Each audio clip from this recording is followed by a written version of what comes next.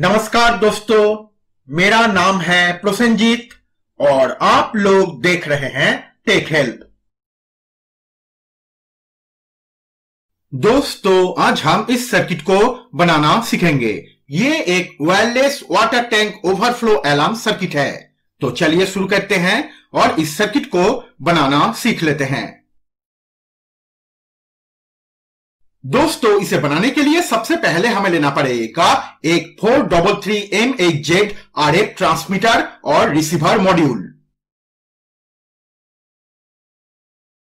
अब हमें लेना पड़ेगा एक मोटा कॉपर वायर का टुकड़ा। उसके बाद, उस कॉपर वायर के टुकड़े से हम ऐसा दो एंटेना बना लेंगे।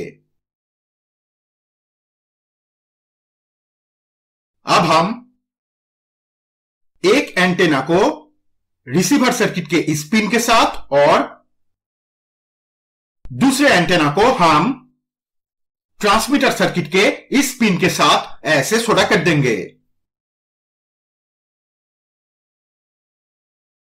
अब हमें लेना पड़ेगा एक BC557 ट्रांजिस्टर और एक 1K रजिस्टर। उसके बाद इस ट्रांजिस्टर का इमीटर पिन हम इस रिसीवर सर्किट के इस पिन के साथ ऐसे सोडा कर देंगे। उसके बाद इस रजिस्टर को हम इस रिसीवर सर्किट के इस पिन के साथ और इस ट्रांजिस्टर के बेस पिन के साथ ऐसे सोडा कर देंगे।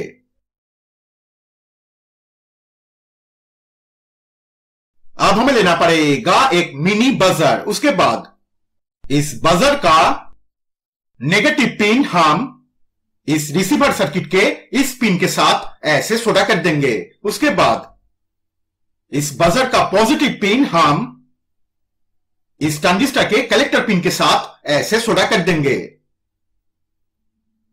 तो दोस्तों, ये रिसीवर सर्किट का कनेक्शन कंप्लीट हो चुका है। तो चलिए, अब हम ट्रांसमीटर सर्किट का कनेक्शन देख लेते हैं। दोस्तों, देखिए, ये है ट्रांसमीटर सर्किट का कनेक्शन आप लोगों को भी बिल्कुल ऐसे ही ट्रांसमीटर सर्किट का कनेक्शन करना है। तो दोस्तों, ये छोटा सा सर्किट तैयार हो चुका है। तो चलिए, अब हम इसे चेक करके देखते हैं।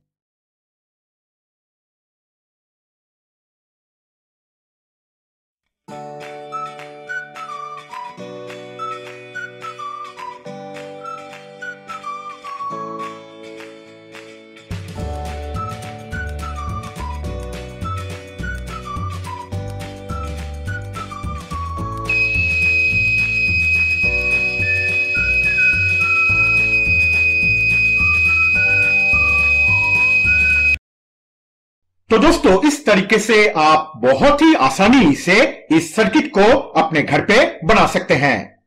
तो दोस्तों, आज इतना ही। आप लोगों से फिर बात होगी अगले ट्यूटोरियल में। तब तक के लिए bye friends and thanks for watching